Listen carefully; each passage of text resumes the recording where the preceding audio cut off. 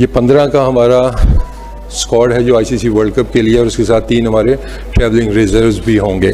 हमने डिफरेंट चीज़ें ट्राई की हैं, जो प्रॉब्लम एरिया से हमारे, हमने उनको आइडेंटिफाई किया है। तो now whatever we have the best option हमने उनको सेलेक्ट किया है। चीफ सेलेक्टर मोहम्मद वसीम ने ICC T twenty world cup के लिए पाकिस्तानी स्क्वाड का ऐलान कर दिया। टीम की क्यादत बाबर आज़म करेंगे, जबकि नायब कप्तान होंगे शादाब खान।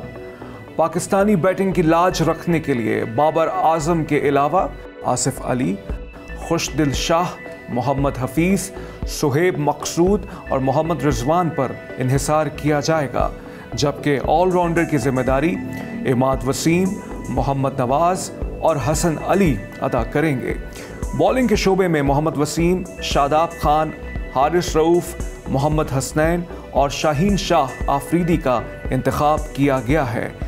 रिज़र्व खिलाड़ियों में फ़खर जमान, शाहनवाज धानी और उस्मान कादिर शामिल हैं।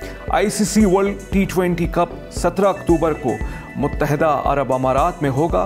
पाकिस्तान के पोल में भारत, न्यूजीलैंड और अफ़गानिस्तान शामिल हैं, जबकि दो क्वालिफायर्स हैं। इवेंट का बड़ा मुकाबला पाकिस्तान और भारत के दरमियान 24 अक्टूबर को दुबई में होगा। दूसरी जानब, मिसबाउल हक और वक़ार यूनिस हेड कोच और बॉलिंग कोच के अहदों से दस्तबरदार हो गए। पीसीबी के मुताबिक, सकलैन मुश्ताक और अब्दुल रज़ाक न्यूजीलैंड सीरीज़ में बतौर अबूरी कोचेस जिम्मेदारियाँ निभाएँगे।